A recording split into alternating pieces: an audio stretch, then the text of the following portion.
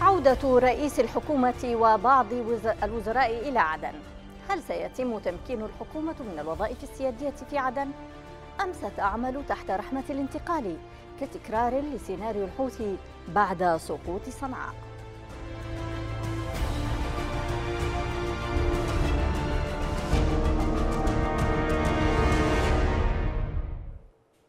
أهلا بكم وصل رئيس الحكومة معين عبد الملك إلى العاصمة المؤقتة عدن رغم تأخر الموعد المحدد, المحدد في اتفاق الرياض لأكثر من أسبوع. كان مقررا أن تعود الحكومة بأكملها لكن من عاد مع رئيس الوزراء لم يصل عددهم عشرة وزراء وأنباء عن عدم سماح المجلس الانتقالي لبعض الوزراء بالعودة إلى عدن. إذا عودة منقوصة لا تبشر بفرض سيادة الحكومة على القرار في عدن. لكن المختلف هذه المرة أن من سيكون في من سيكون في واجهة تقويض الحكومة هي السعودية بعد أن كانت الإمارات سابقا. الشرعية والانتقال والسعودية في ملعب عدن. سيحاول الطرفان الأولان تنازع أدوات القوة وسترجح السعودية كفة أحدهما وفق أجندتها وسياستها الخاصة. لكن السؤال هل ستقبل الحكومة أن تصبح مجرد واجهة قانونية ومالية لتسيير الحياة في عدن؟ بينما القرار الأمني والعسكري لا زال في يد الميليشيا الانتقالي. وما هي الألغام التي تنتظر بقية بنود اتفاق الرياض؟ عاد رئيس الحكومة إلى العاصمة المؤقتة عدن وكان أول مصافحيه ضابطا سعوديا. ما تقوله الصورة هنا أن عدن هي معقل للقوات السعودية وأن حالة السلام المؤقتة مرهونة بوجودها إنها حرب هادئة كما قيل مغلفة بالابتسامات. العائدون إلى عدن برفقة رئيس الوزراء هم وزراء المالية وزير الكهرباء وزير الأوقاف التعليم العالي الاتصالات والإدارة المحلية. ستة وزراء من حكومة الدكتور معين. الآمال التي يعلقها البعض بعودة رئيس الحكومة من أجل سرعة حل القضايا العالقة وتحسين الخدمات والأهم من ذلك إنهاء فصل من العبث بأمن عدن وأبنائها. لكن هذه الآمال لم تستطع منع التساؤلات عن إمكانية عمل الوزارات والمؤسسات الحكومية فيما أكثر من نصف الوزراء لا يزالون ممنوعين من دخول عدن. وزير التربية والتعليم عبد الله سالم لملس يكتب مغردا على حسابه في فيسبوك منعون اليوم من العودة إلى الوطن تغريدة لملس تشير إلى أن قرار منع الحكومة لا يزال ساري وأن ما حدث تحت لافتة اتفاق الرياض هو مجرد امتصاص للصدمة خصوصا أن عدن لا تزال فعليا تحت سيطرة الانتقالي المدعوم من دولة الإمارات. وزير النقل كان قد أطلق تحذيرات نارية من عودة رئيس الوزراء المشروطة تحت حماية قوات سعودية في ظل غياب سلطة الدولة. آه، سمعت أن الأخ رئيس الوزراء متحمس للعودة لكن سيعود تحت علم غير علم البلد؟ سيعود بحماية قوة غير قوة الدولة؟ سيكون شريك في الانقلاب. صراحة إذا عاد بهذه الصفة سيكون شريك في الانقلاب. وهذا الأمر لا يليق به. التاريخ لا يرحم. العودة المتأخرة عن موعدها بخمسة أيام بحسب الجدول الزمني لاتفاق الرياض تلقي بظلالها على بقية بنود الاتفاق خصوصا فيما يتعلق بتعيين محافظ بعد خمسة عشر يوما من التوقيع والذي قد يكون نقطة خلاف كبيرة ستؤدي لعرقلة سير اتفاق الرياض. إذا مشاهدينا الكرام في هذه الحلقة سيكون معنا هنا في الاستوديو المحلل السياسي ياسين التميمي وسيكون معنا عبر الأقمار الاصطناعية الصحفي صلاح السقلدي. بداية مساء الخير أستاذ ياسين. أسعد الله مساءك ومساء ضيفك الكريم ومشاهدي قناة بلقيس. وأرحب بك أيضا أستاذ صلاح. مساء الخير. مساء الخير عليكم وعلى السادة المشاهدين جميعا. أهلا بك. اذا آه، أبدأ معك أستاذ ياسين. ما الذي تحمله عودة معين عبد الملك إلى عدن اليوم آه، من وجهة نظرك؟ بسم الله الرحمن الرحيم. آه، طبعا عودة رئيس الوزراء ليست استثنائية. هي تأتي في سياق تنفيذ اتفاق الرياض. معين عبد الملك يعود كرئيس حكومة تصريف أعمال. دوره محدود للغاية. يتمثل في تسيير الأمور العادية التشغيلية صرف المرتبات. بانتظار طبعا آه، تشكيل حكومة آه، الحكومة المتفق عليها والتي ستتم خلال شهر من التوقيع على اتفاق الرياض. نحن أمام عودة ذليلة مشروطة ما كان يجب أن يعني توضع الحكومة الشرعية الممثلة للشعب اليمني في سياق هذا الامتحان المذل الذي يعني أفقد السلطة الشرعية الكثير من أوراقها وفي الوقت التي يعني تمثل الشرعية قاسما مشتركا لدى المجتمع الدولي الذي لا زال ينظر إليها على أنها الممثل الشرعي للشعب اليمني هي تفقد صلاحياتها وأوراقها آه، استنادا إلى هذا الاتفاق آه، الذي صمم لتمكين فصيل آه، متطرف يتبنى أجندة لا وطنية آه، لكي يكون جزءا من شرعية هي التي ستسود في عدن. وبطبيعة الحال نحن اليوم أمام شرعية متشظية متصدعة. عندما تتشكل الحكومة الجديدة ستكون هذه الشرعية شرعية مفروغة من مضمونها بأجندات متصارعة ب آه، آه، يعني وزراء يمثلون خلفيات سياسية وأجندات متصارعة. وموتورة وتتبنى آه، موقفا عدائيا من مشروع الدولة اليمنية. إذا نحن أمام آه، مآل سيء جدا بالنسبة للسلطة الشرعية. لا يمكن النظر إليه على أنه نجاح في سياق تنفيذ اتفاق آه، الرياض. هو استسلام ما كانت تحتاجه الحكومة لإرادة خارجية تمكين التحالف من التحكم ليس فقط السياسي والعسكري والاستراتيجي أقصد العسكري والاستراتيجي وإنما التحكم السياسي أيضا. وهذا من صلاحيات السلطة الشرعية. اليوم التحالف استندا لاتفاق الرياض آه، سينظر في طبيعة التعيينات آه، سيتحكم إلى حد كبير في سلوك الحكومة خلال المرحلة المقبلة نعم. وفي الوقت نفسه ليست هناك ضمانات من أنه سيتحكم في في المقابل بسلوك وتصرفات المجلس الانتقالي الذي آه، لديه قوة يتحكم بها في في عدن ويحدث فيها الفوضى والجلبة قبيل عودة الحكومة وما بعد عودة الحكومة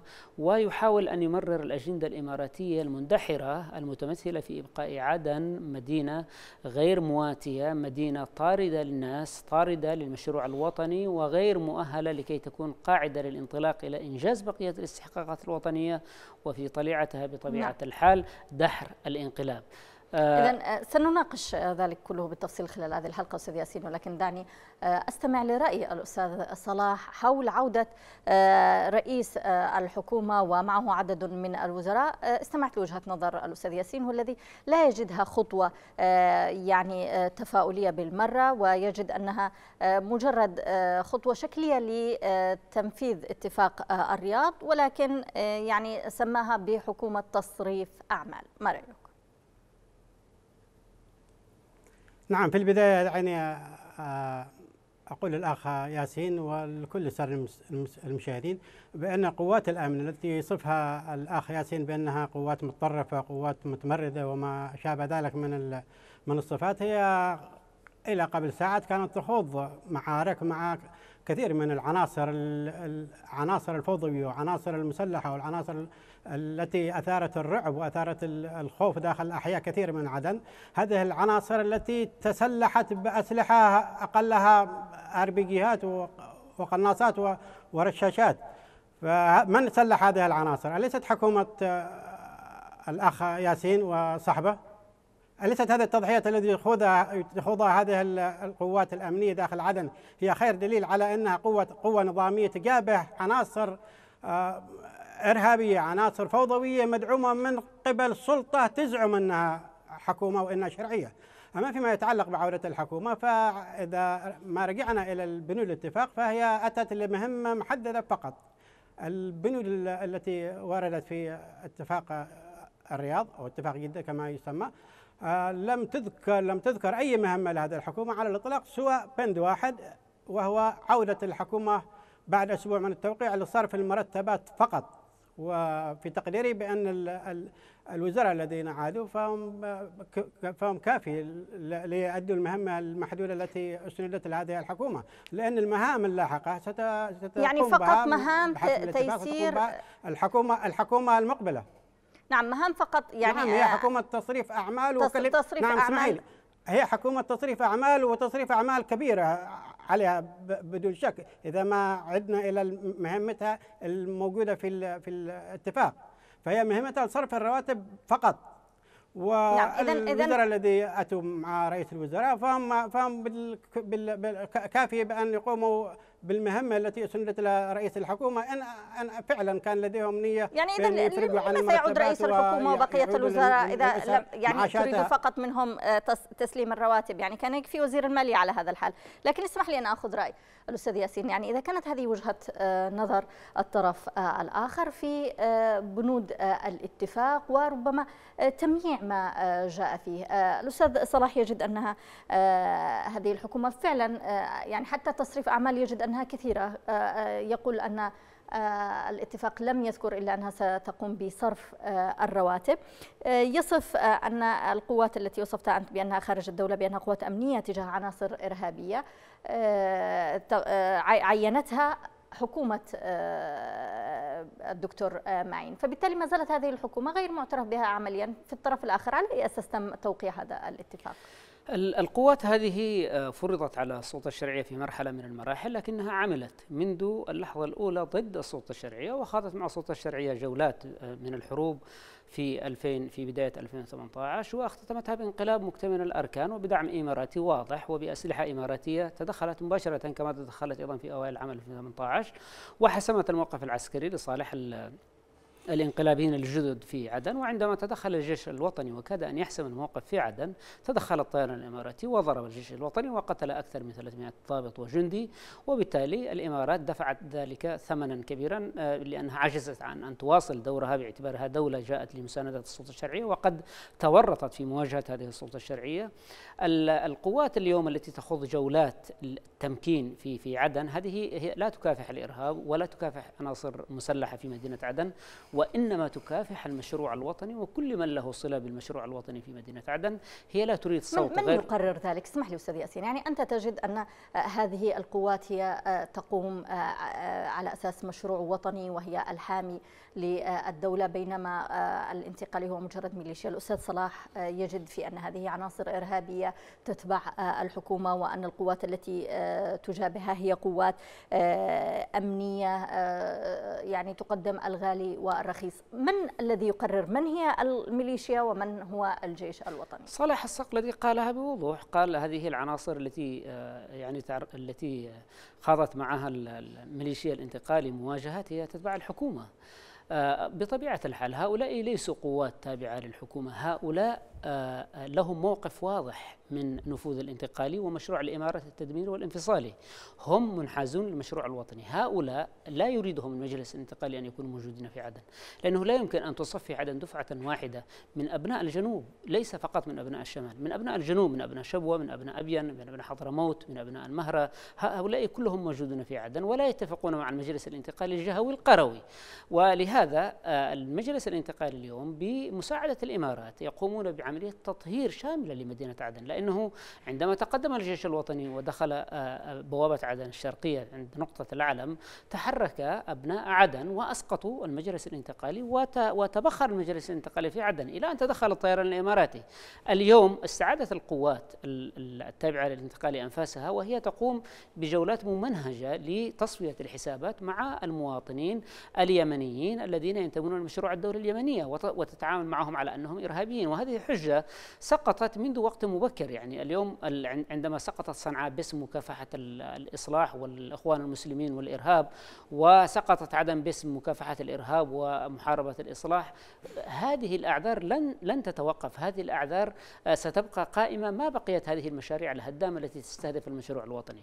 لهذا الناس الذين يدافعون عن أنفسهم في إحياء عدن أصلا ما قاموا بعملية إرهابية ولا ولا أثروا على الأمن ولا آه، آه، ولا خربوا البيئة الأمنية آه، الحساسة لمدينة عدن وإنما هؤلاء لديهم مشروع لتطهير عدن حتى يكون موقفهم هو الأقوى في مواجهة السلطة الشرعية نعم عندما آه، تستعيد ولا أقول يعني في مواجهة الحكومة التي يفترض أنها تكون حكومة شراكة كاملة بما في ذلك يعني بتمثيل يشمل الانتقال. نعم إذا اسمح اسمح لي فقط أن أعود للأستاذ صلاح. أستاذ صلاح يعني إذا كانت عودة رئيس الوزراء أخذت ربما أكثر أو قرابة أسبوعين يعني وهو إجراء يفترض أن يكون إجراء عاديا. كيف يمكن تنفيذ بقية الشروط في ظل يعني الفهم الذي تفهمون به لبنود اتفاق الرياض؟ نعم مرة أخرى أذكر الأخ ياسين بأن هذه العناصر الإرهابية والفوضوية هي مسلحة من قبل الألوية التي كانت موجودة في عدن ولا أحد يستطيع أن ينكر ذلك. وقامت قبل وقامت يوم أمس بمهاجمة أطقم تبع الأمن في عدن. وهذا القوات الأمنية نذكر بأنها أنشئت بقرارات جمهورية وقيادتها عينت بقرارات جمهورية لم تنشأ بقرارات جمهورية, جمهورية؟ فمن يغالط الأخ ياسين؟ والألوية نعم أنشئت من أما تلقاء أما فيما يتعلق ب... أما فيما يتعلق ب... أما فيما اسمحي نعم؟ تفضل. تفضل. نعم هي نعم هي انشئت بقرارات جمهورية باسم ألوية الدعم والإسناد. إذا لم تكونوا عارفين بهذه الحقيقة فالكارثة أكبر يعني. لا لا أنا أنا لم لم اشر إلى الحزام الأمني ولكن أشرت لبقية القوات الألوية التي تتحدث عنها. أنشئت من تلقاء نفسها أم أنشئت أيضا بقرارات جمهورية؟ في عدن هي الحزام الأمني وقوات الأمن العام الموجودة. لا لا لا توجد هناك أي قوات أخرى. وأنا أكلمك من داخل عدن الآن. أما فيما يتكلم عنه الأخ ياسين بأن الانتقالي سقط ذات يوم فلا أعرف متى سقط. إلا إذا كان سقط هذا في مخيلتهم وفي أحلامهم. فيما يتعلق بالغزو الذي كان تم على عدن فتصدت له الإمارات بعد أن أتى هذا الغزو من خارج الجنوب أصلا وليس فقط من خارج عدن هو أتى من مأرب وكلنا نعرف ماذا الغرض منه.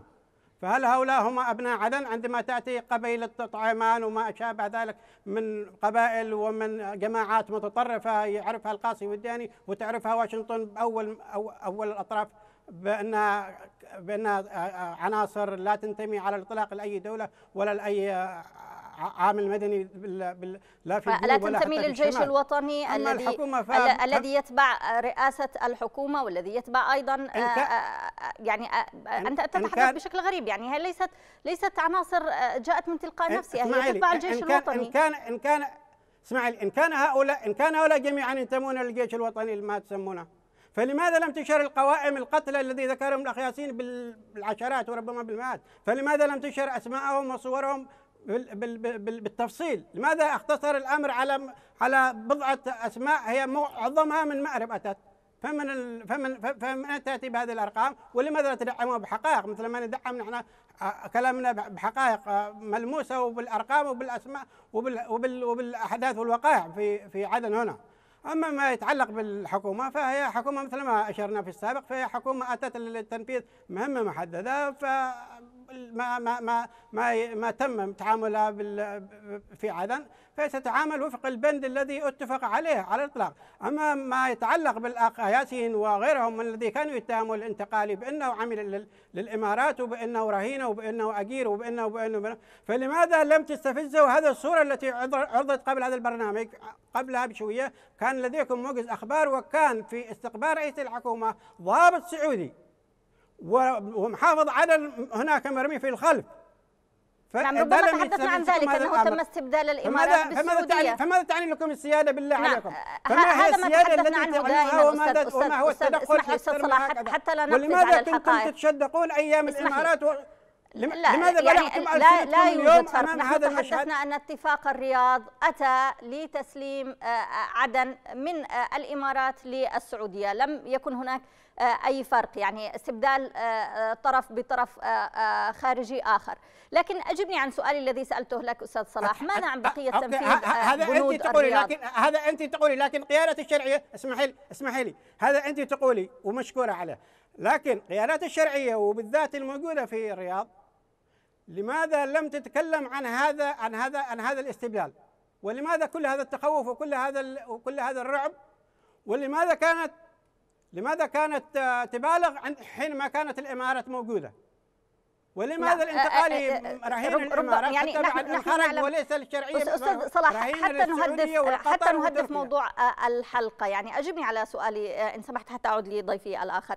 يعني ماذا عن بقية تنفيذ بنود الرياض؟ إذا يعني عودة رئاسة الوزراء استق يعني أخذت كل هذا الوقت ماذا عن بقية البنود؟ خاصة دمج قوات الحزام الأمني بالجيش الوطني وما إلى ذلك من النقاط العديدة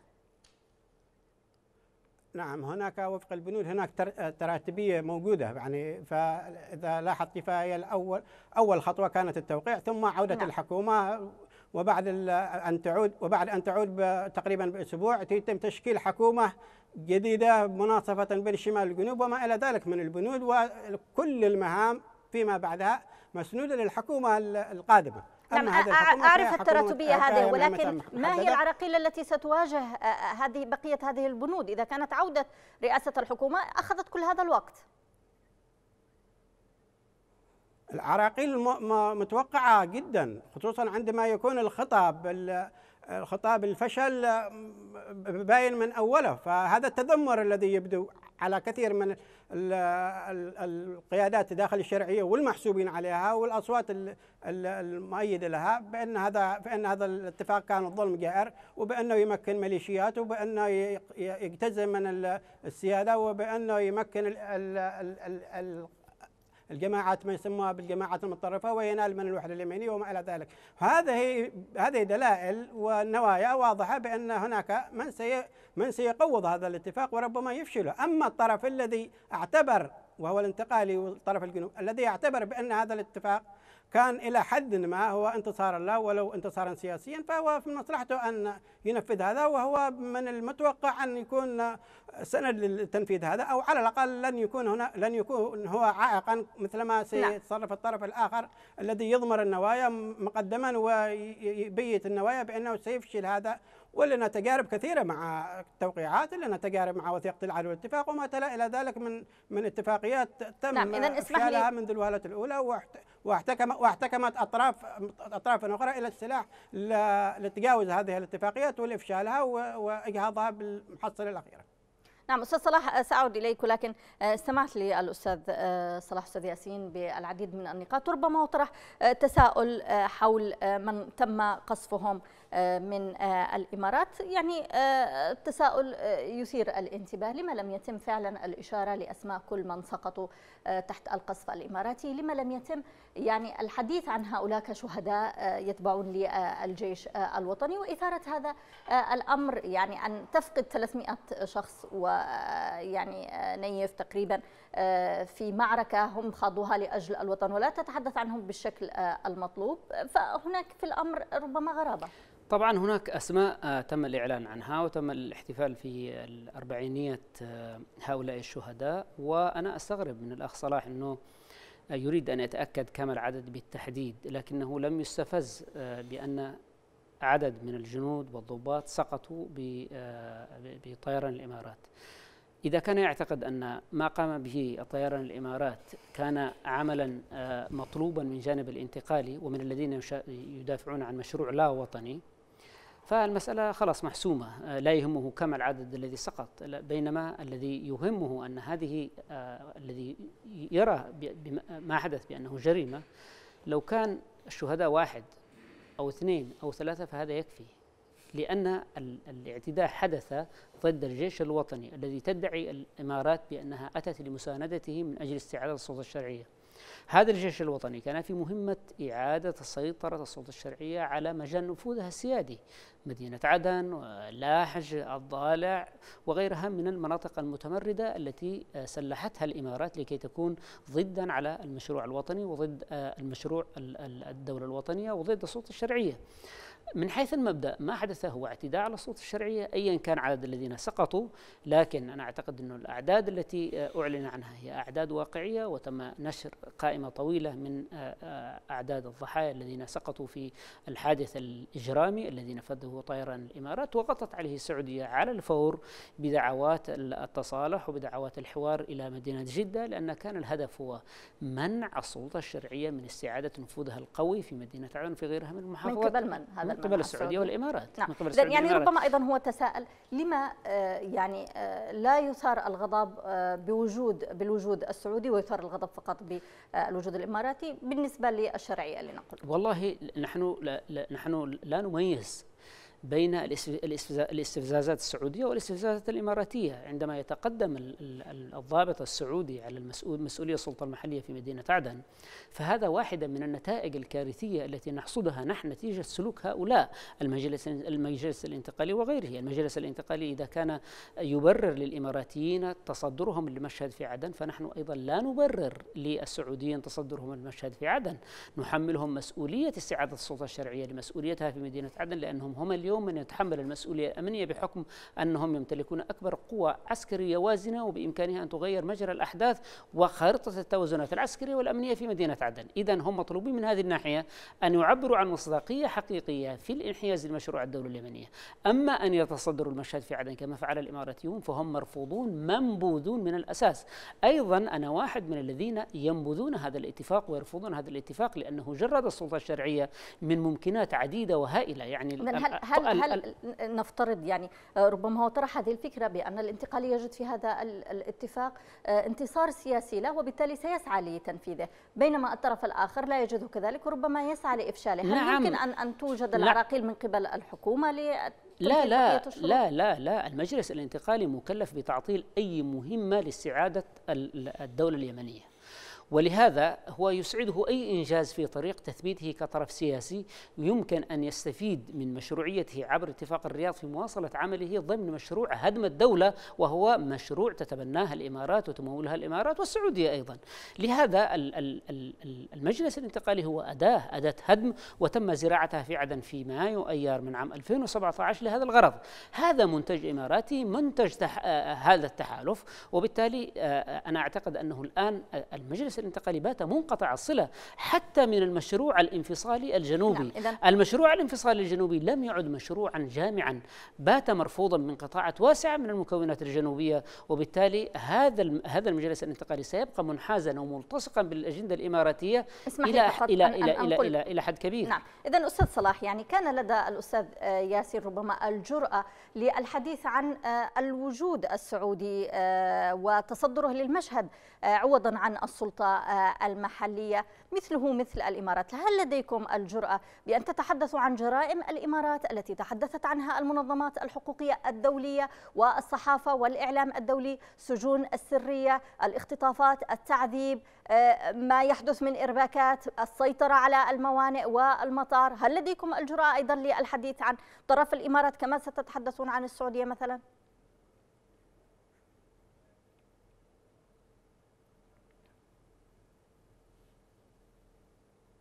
نعم هل استمعت إلي أستاذ صلاح؟ هل هناك مشكلة في الصوت؟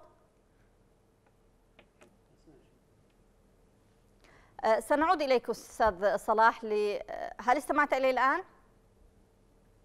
نعم هناك مشكلة يبدو لي في الصوت سنحاول معالجتها أه، أعود إليك أستاذ أه، لو نعم. سمحتي لي تفضل أنوه لنقطة مهمة يعني فضل.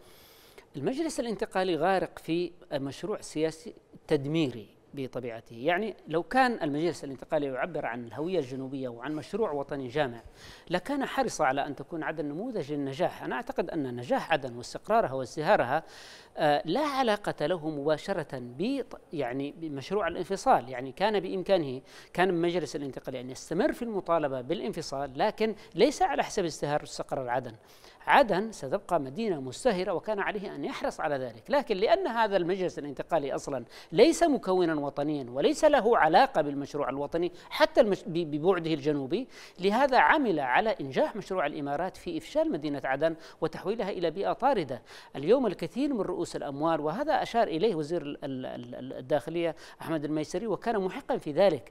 عدن كان يفترض أن تتدفق إليه الأموال والناس الذين قدموا إلى عدن ما قدموا لكي آه، يصطدموا مع المشروع الجنوبي بل قدموا لأن عدن كانت هي الملاذ بعد الانقلاب الحوثي في صنعاء وكان يمكن لأموالهم أن تحول عدن إلى مدينة مزدهرة ومتقدمة لأن مدينة مأرب التي كانت أشبه بقرية توسعت إلى مدينة كبرى آه، منذ آه، خمس سنوات تقريبا بينما عدن تراجع دورها وتراجعت وأصبحت قرية كما قال وزير الداخلية. إذا لأن المجلس الانتقالي لا علاقة له بالمشروع الوطني الجنوبي ولا علاقة له باستعادة حتى الدولة الجنوبية فهو قنبلة موقوتة زرعت الإمارات لغم زرعته الإمارات في وجه الدولة اليمنية وفي وجه الطموحات الحقيقية لأبناء الشعب الجنوبي ولأبناء مدينة عدن على وجه التحديد. أبناء مدينة عدن اليوم كلما اتسع نطاق المواجهات بين قوات المجلس الانتقالي وأبناء مدينة عدن فهذا يعني أن مدينة عدن ترفض هؤلاء الطارئين ترفض هؤلاء القرويين الذين يريدون أن يفرضوا كلمتهم بقوة السلاح.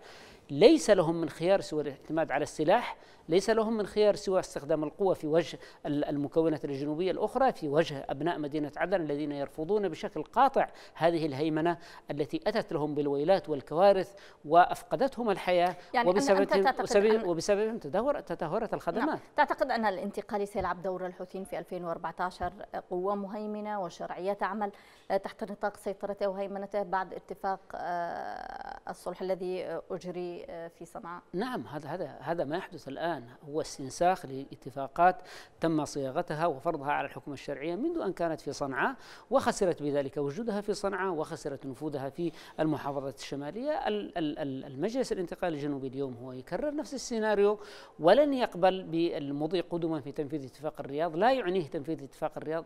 ليس لأنه آه، متمسك باستقلال الجنوب. بل لأنه ملتصق بشكل أساسي بمشروع الإمارات ومشروع الإمارة التدميري في الأساس وهو ماض باتجاه تفكيك حتى المحافظة الجنوبية نفسها لأنه في الوقت الذي يقرر آه، القرويون الذين يهمنون عن المجلس الانتقالي آه، آه، بأنهم ذاهبون إلى انفصال فالجنوب الآخر سيذهب إلى انفصال. هذه حقيقة والعالم تحدث أبناء حضرموت تحدثوا أبناء المهرة تحدثوا وأبناء شبوة قالوا موقفهم في المواجهات العسكرية الأخيرة وطردوا المجلس الانتقالي وطردوا القوات المحسوبة عن المجلس الانتقالي من محافظة الشبوة نعم. فعن أي شيء يتحدث هذا المجلس؟ أنا أعتقد أن استمرار المجلس ومنحه آه، عبر اتفاق الرياض إمكانية للهيمنة في مدينة عدن هو جزء من مخطط تحالف وليس له علاقة بالمشروع نعم. الجنوبي. اسمح لنا بأي حال من الأحوال. نعم اسمح لنا أستاذ ياسين أن ينضم معنا المحامي والناشط الحقوقي وحيد سلام عبر الهاتف من عدن. مساء الخير أستاذ وحيد. مساء النور عليكم جميعا. أهلا بك. أستاذ وحيد ما هي الأولويات أو المطالب التي تطلبونها كأبناء عدن من آه، الحكومة بعد قدومها إليها؟ آه، في البداية شكرا على الاستضافة ويعني رحب بالضيوف الكرام بالمشاهدين قناة بلقيس. اليوم أنا يعني يعني أتحدث يعني كصوت من أصوات المجتمع المدنيين آه، أبناء عدن آه، برسالة آه، نرفعها لدولة رئيس الوزراء الدكتور معين عبد الملك ورئيس الجمهورية فخامة المشير عبد الرحمن منصور هادي. نطلب من جميع من جميع الأطراف سواء كانت الدولة والحكومة الشرعية أو أخواننا في المجلس الانتقالي. نطلب منهم جميعا أن آه، يتركوا آه، أي مهاترات أو مماحكات وأن يلتفتوا جميعا كفريق عمل واحد لانقاذ هذه المدينة التي تعاني اليوم ويصرخ أبنائها في كل الاتجاهات في الاتجاهات الخدمية في الاتجاهات الأمنية في الاتجاهات المجتمعية. آه، اليوم عدن تعاني والفرقاء منشغلون عن عن معاناة هذا المجتمع. آن الأوان اليوم بعد اتفاق الرياض الذي استبشرنا فيه خير آه، أن يعود الجميع كفريق عمل واحد. أنا أنا أدعو آه، الحكومة الشرعية آه، نعم. أن أن تعتبر الأخوة في المجلس الانتقالي مكون سياسي. يتعاملوا معهم كأي حزب أو تنظيم سياسي أو على هذا الأساس. ويعملوا آه، في في يعني آه، بشكل آه، برؤية سياسية. نعم هل هل ترك لهم اتفاق الرياض هذا المجال أستاذ وحيد؟ يعني هل فعلا المكون الانتقالي مكون سياسي أم يعني ربما وجوده معيق لعمل الحكومة والحكومة فقط مسيرة للاعمال وتحدث معنا الصحفي صلاح سقلدي وربما هي رؤية جميع من في الانتقاليه أنهم أتوا فقط لتيسير الحياة في عدن ولصرف الرواتب فقط. هذا صحيح. أنا أنا في قناعتي الشخصية وفي قناعة المجتمع المدني في في عدن آه، ان ان آه، أن عدو هذا المجتمع وعدو الدولة وعدو هذا الشعب هي ميليشيات الانقلاب الحوثيه آه هذا هو العدو الذي يجب أن يتجه الجميع لمواجهته. اما أما الحكومة الشرعية آه بمشروعها الوطني والخدمي لهذا المجتمع آه يجب ان أن ترتقي اليوم ويجب كذلك على الاخوه في المجلس الانتقالي أن يرتقوا.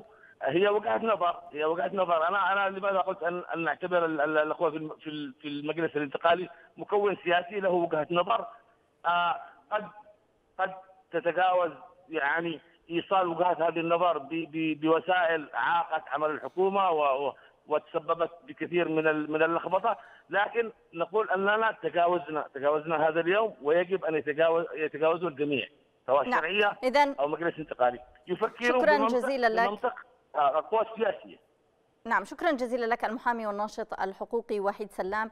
كنت معنا عبر الهاتف من عدن. وعودة إليك أستاذ صلاح بداية معذرة عن هذا الانقطاع الخارج عن إرادتنا بسبب آه، سوء آه، الصوت من المصدر. وكنت سألتك قبل انقطاع الصوت حول مدى جرأتكم ل آه، يعني مواجهة ما عبثت به الإمارات من سجون سرية من تعذيب من العديد من الانتهاكات التي قامت بها من سيطرة على الموانئ والمطار أيضا. وذلك بشهادة منظمات حقوقية لم نتحدث نحن وإنما إعلام غربي وتقارير دولية عديدة منها لجنة الخبراء والعقوبات أيضا. كما تحدث الأستاذ ياسين عن الدور السعودي وأنه دور مشبوه أيضا ويعني آتي فوق سيادة الحكومة وأن استقبال رئيس الوزراء من قبل طرف خارجي بعيدا عن السلطة المحلية شيء معيب ومهين. نعم سمعنا عن تقارير من هذا النوع في عدن تقارير عربية وتقارير دولية في عدن مثل ما سمعنا عنه في انتهاكات كثيرة في مأرب وفي تعز وفي صنعاء وفي كثير من المناطق. لكن السؤال الذي يطرح نفسه منذ قرابة أسبوعين آه، لماذا لم نرى إفراج عن هذا المعتقلين وهذا والإنهاء هذه السجون التي كانت أيام الإمارات مع مع مسك السعودي اليوم؟ هي تمسك بالمقر التحالف حيثما يعتقد بأنه هناك سجن و تمسك كثير من مناطق داخل عدن وبالأخير لم نشاهد أي آه، معتقلين أو أي سجناء نعم يتم يعني الافراج عنهم. بل الغريب بالأمر بل الغريب ذلك بل الغريب بل الغريب بالأمر أن الأصوات التي كانت اسمحي لي بل الغريب بالأمر أن الأصوات الكثيرة التي كانت تتحدث عن هذا الموضوع اختفت أو تكاد أن تختفي. نعم لنقل لنقل أننا نتهيأ بوجود هذه السجون. اسمح لي لنقل أننا تهيأنا بوجود هذه آه، آه، السجون وغرتنا التقارير الدولية الكاذبة بحق الإمارات لكن كيف يمكن أن تبرر ذلك أستاذ صلاح؟ وأنت من أبناء عدن آه، يعني صوت الأمهات التي يعني يبكين وتتناقلهن صور الفيديو أمام سجن بير أحمد وغيره من السجون يطالبن بالكشف عن مصير أبنائهن. كيف تستطيع نعم, نعم، مواجهة نعم نعم مواجهة نعم. يعني نداء الأمهات أنا يعني دعك مني ودعك من فقط. أنا أتضامن مع كل أسير وكل اسمحي لي. واضح واضح السؤال. لا أتضامن مع هؤلاء فقط. أنا أتألم كثيرا لأي سجين ولأسرة أي سجين في أي مكان وفي عدن نعم. تحديدا لكن أستغرب وهذا ما أشرت إليه كثير من الكتابات لماذا لم نرى تلك الزخم الذي كان موجود أيام الإمارات؟ لماذا لم لماذا لماذا يكاد أن يختفي اليوم؟ لا يعني بالنسبة لنا ما زلنا نتحدث عنهم يا يحتاج إلى علامة تعجب. بالنسبة لنا ما زلنا نتحدث لا لا عنهم. لا أنا يعني أقصد الوقفات التي كانت الوقفات التي كانت تتم أن تجيبوا الانتقالي هو من يفترض أن يجيب. لما أنا أنا أنا أضم صوتي إليك. لماذا لماذا صمتوا عن أهلهم إلى الآن؟ أنا مستعد أخرج معهم وأوقف وأعتصم وننظم أي وقفات سواء أمام التحالف أو أي مركز شرطة أو أي سجن مفترض. لكن الغريب أن لم نعد نشاهدهم. لماذا سكتوا عن أبنائهم هؤلاء؟ هل هل هل خوفا من السعودية أم أن التقارير كانت تغشنا جميعا؟ نعم اذا دعينا دعينا جيد, جيد, جيد مناصرتك لهؤلاء الضعفاء ولكن آه، آه، يعني أضع لك نقطة أخرى أيضا طرحها الأستاذ ياسين آه، ربما لم تستمع إليها أثناء انقطاع الصوت وهو يتحدث عن لو كان المجلس الانتقالي لديه مشروع تنموي ربما كان حسن من عدن وحولها إلى مدينة مزدهرة لكن للأسف الشديد لديه مشروع حسب آه، توصيف الأستاذ آه، ياسين تدميري هدفه غير وطني آه، وهو ليس مكونا وطنيا لأنه حول عدن إلى مدينة طاردة للرأس المال وللناس طيب. وللحياة طيب. الطبيعية ربما أنتم استلمتم الحكم بفترة منذ الانقلاب حتى هذه الفترة ولم نجد أي تحسين يعني حتى ما قبل ذلك يعني الحكومة لم تكن موجودة عمليا كانت تحت سيطرتكم وسيطرة الإمارات لما لم تتوجهوا للبنية التحتية حقيقة وحينما أرادت الإمارات أن تغادر تغادر ذهبت لقلع المواطير التي أتت بها. ما ما أي بنية تحتية تريدين حققها خلال شهر بالله عليه في الوقت لم الذي عن هذه أنتم من أنتم من تمسكون البلاد منذ منذ التحرير يا منذ تحرير عدن من يمسك البلاد غير الحزام الأمني والإمارات أستاذ صلاح هل تقنعني أن الحكومة الغير موجودة والغير مسموح لها بالتواجد هي من مسكت الحكم؟ الانتقالي لا يمسك الدولة بكل تفاصيلها لا يمسك الدولة بكل مواردها. النفط بيد الحكومة الحكومة أخذت الفلوس وهربت أخذت كل المخصصات وهربت.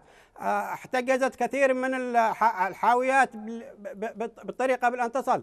كل الموارد كل الموارد التي التي هي ستكون موارد للتنمية الموارد لإعادة الخدمات كلها بيد بيد الحكومة. لماذا لم تدعمكم الإمارات بأنه يمسك نعم لما لم تدعمكم الإمارات لتثبت أن هذه الحكومة فاشلة وأنتم من تستطيعون قيادة البلد وذهبت لدعم آه، الجيش والتسليح وما إلى ذلك وفرطت في البنية التحتية. ربما كنتم آه، في عيوننا وفي عيون الناس. من تستحقون فعلا أن تمسكوا زمام الأمور في المجلس الانتقالي؟ الحكومة هذه فاشلة من أول يوم للحرب حتى عندما كانت على وئام مع الحراك الجنوبي قبل تأسيس الانتقالي. كان فشلها يعتريها من كل جانب لكن دعيني أقول لك دعينا نفترض جدلا أن البلاوي كلها الموجودة في عدن سببها سببها الانتقالي. فأين التنمية في المناطق الأخرى؟ مأرب مأرب فؤاد يعني أنت تعرف كيف كانت مأرب أستاذ صلاح مأرب كانت مجرد قرية آه، منبوذة متهمة بتصدير الإرهاب ومن يفجرون الكهرباء وما إلى ذلك. الآن أصبحت نواة لحكومة جيدة آه، استقطبت العديد من الناس لديها العديد من المشاريع وخلال خمس سنوات ربما أثبتت أنها قادرة على يعني إنشاء دولة بداخلها. التي كانت تعد القبائل يعني المتشددين والمتصارعين والمتحاربين إن, إن, إن كانت إن كانت إن كانت هذه الحكومة لها مشروع وطني وإن كانت قادرة تعمل شيء وإن كانت قادرة على الأقل توفر الخدمات وتوفر محتاجات الناس ولو بالحد المطلوب لما وصل الأمر إلى هذا إلى هذا إلى هذا يا أخي الحكومة حين حين ترك لها المجال ظهر ظهر ذلك العمل في مأرب ولكن لم يترك لها المجال في عدن اسمح لي فقط أن أن يعني أعود للأستاذ ماذا كيف هي الصورة في تعز. كيف هي الصورة في تعز؟ هل هناك مجلس انتقالي أيضا لم يترك لها المجال يعني. هل هل تتوقع دعم الإمارات للفصائل المسلحة والإرهابيين انظري و... ماذا يحدث في كل المحافظات التي ليس فيها انتقالي. لم, لم يترك لها المجال في تعز أيضا أستاذ صلاح وأنت صحفي وربما مطلع على خبايا هل هذه المحافظات الأخرى عايشة في بحبوحة؟ نعم أعود يعني ربما على, على الأقل في عدد في كلمة أخيرة تود قولها أستاذ في على صلاح. الإنسان يستطيع أن يمشي يمشي في الشارع وهو آمن إلى حد ما بخلاف في مناطق أخرى في تعز أو في مأرب. انظروا إلى الحالة الموحشة الموجودة في مأرب عندكم. لا لا يمر يوم إلا ونسمع هناك قتل وهناك اختطافات وهناك اشتباكات بين القبائل. في تعز نفس الوضع. وفي البيضة وفي كل المناطق التي من المفترض أن الشرعية موجودة فيها. كل هذه المناطق لا يوجد فيها انتقالي ولا يوجد فيها أي دعوات نزعة انفصالية حتى تكون هي الشماعة التي تعلقون عليها كل فشلكم. إذا كان وجدتم في في عدن هناك مجلس انتقالي تعلقوا على هذا الفشل فماذا تقولون عن مناطق أخرى؟ أما نعم فيما يتعلق بالانتقال هو ليس مكون سياسي وأنا أشير هذا الكلام إلى الأخ نعم أن تتحول أن تتحول مدينة جميلة هو عبارة عن مشروع مظلة سياسية لنصرة القضية الجنوبية. نعم أن تتحول مدينة مثل عدن آه، بمدنيتها ومسالمتها إلى مجرد قرية طاردة لكل من يأتي إليها وتتحول مأرب التي كانت طاردة لكل شيء بهذا آه، الجمال وبهذا القبول فربما هذا الأمر لابد من آه، إعادة النظر آه، الانتقالي في ذلك الأمر. عموما لم يعد لدي المزيد من الوقت. شكرا لك اسمح لي عدن عدن عدن عدن ليست ضحيه من شهر أو شهرين. عدن ضحية نعم نظام اسمح لي فقط. لم لم يعد لدي سأعود نظام علي عبد الله صالح. نظام علي عبد الله صالح أقسم بأن يحول عدن إلى قرية وهي الوعد الوحيد الذي نفذته سلطة 7 يوليو الذي نعم أوفت بهذا الوعد إن حولت عدن إلى قريه شكرا لك أستاذ صلاح.